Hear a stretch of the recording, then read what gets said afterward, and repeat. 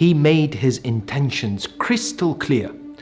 At the house of Yazid's governor of Medina, he raised his voice in defiance and strength.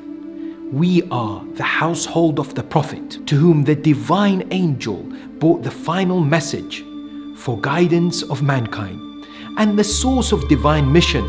And someone like me will never give allegiance to someone like him. After leaving the house, Imam Hussein ibn Ali alayhi headed towards a place where he would visit several times before finally departing Medina. He performed the ziyarah of the blessed grave of his grandfather Prophet Muhammad sallallahu wasallam. Two of these visits are recorded in history. In one occasion, he spent the night worshipping God there. He was so engrossed in prayer that people could hear the sound of his weeping. There he uttered, O Allah, Indeed, this is the tomb of your Prophet Muhammad, peace be upon him and his family, and I am the son of your Prophet's daughter. O Allah, I love the good and hate the evil. I beseech you, O Lord of majesty and honor, by this blessed grave and the one buried therein, select for me that which pleases you and your Prophet.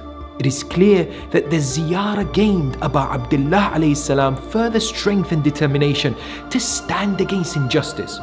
It was not a mere farewell, but a declaration of true intent, infused with love and loyalty, highlighting that his cause is the cause of Rasulullah and indeed a divine mission.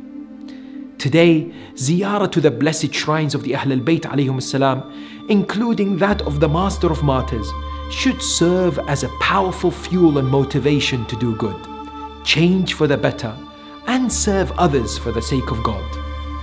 Returning from ziyarah to these blessed shrines should make us better, more focused on obedience to God, and more determined to improve breaking shackles of egoism and slavery to desires, and taking steps to become better human beings as servants of God.